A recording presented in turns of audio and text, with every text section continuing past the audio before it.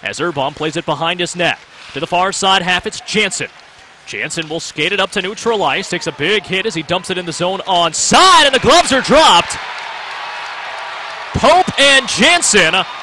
Janssen had a big hit on Pope in the far side just as he was clearing it out of the zone. And Pope and Janssen, they take their helmets off and spin their way around to the red line. Big hit by Janssen right on the chin of Pope. Little punches with the left hand by Janssen as Pope tries to get him with the right can't. Now he'll throw a right hand in. That one misses Janssen. Janssen already hit him with a good right hand. Exchanging punches as Janssen pushes him to the ground. Uh, and those two will be separated, Cam Janssen and Matt Pope.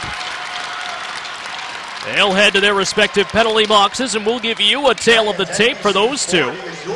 Janssen, six foot tall, 205 pounds, has 22 penalty minutes through 10 games.